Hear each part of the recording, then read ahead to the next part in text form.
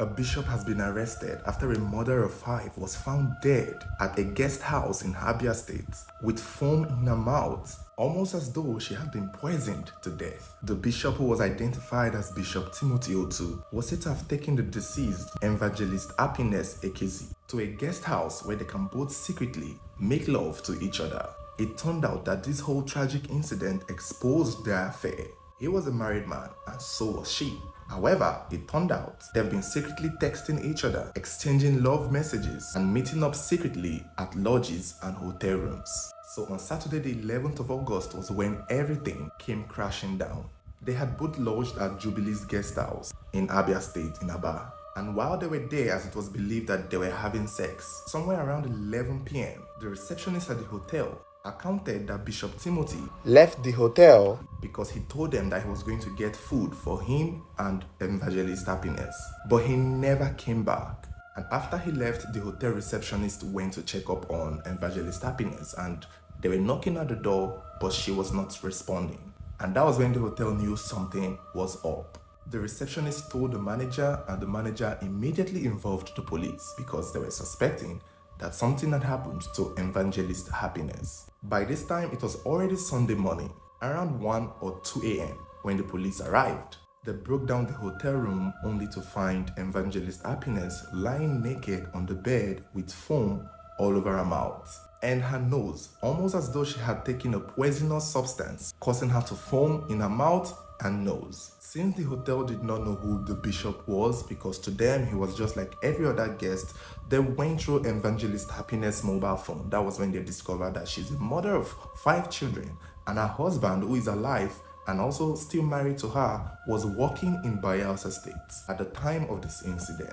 Her body was later evacuated from the hotel, taken to the morgue. By this time, the police already know who they were looking for. They already knew who brought her to the hotel room and they knew where to find him because by that Sunday morning, Bishop Timothy was at his church preaching the word of God. He was at his church even preaching about forgiveness. It was said that the police had to wait for him to finish his sermon before they put him in handcuffs and arrested him. As at the time of making this video, it has not been stated what he's being charged with or what he's being um, arrested for.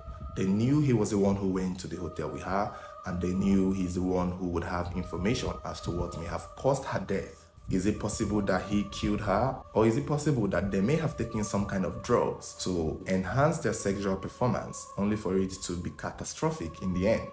Given that she was foaming from her mouth and nose, it is very possible that she may have been drugged.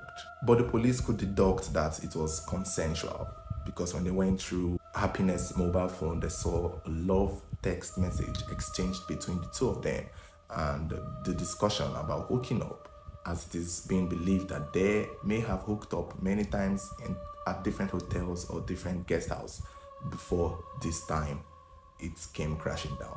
It's such an unfortunate situation given their status in their churches I can imagine how this can be a disappointing blow to them. As it stands now, nothing has been said as to what he's being charged with, but we will just have to wait for the story to develop, which I'm sure it would. Would he be charged for causing her death? Or I think maybe if they did an autopsy, if they found that she took any medication or any drug, he might be held partly responsible. The fact that he did not even call for help or call the police. The fact that he ran away and left her there and he even had the mind to go to church to continue preaching to his audience like he did not just witness a woman die at the hotel the day before. Shows the kind of person he is. And i guess he was putting his reputation first. He hasn't even admitted to spending time with her. I don't think that has been said but i don't think he has any reason to deny. But like we've said many times before on our channel when someone accidentally passes in our presence or in our care, it's hard for people to believe you have no hand in it, especially when the next course of action that you take was to run away or hide the body or get rid of the body. But what he did was just run away, and I guess that can make it suspicious. But I believe an autopsy might be his vindicator in the end. You guys let me know what you think about the story. Let me know your thoughts. Do you think he had something to do with it? Or do you think it was just an accident that became overboard for him and he did not just know how to handle it?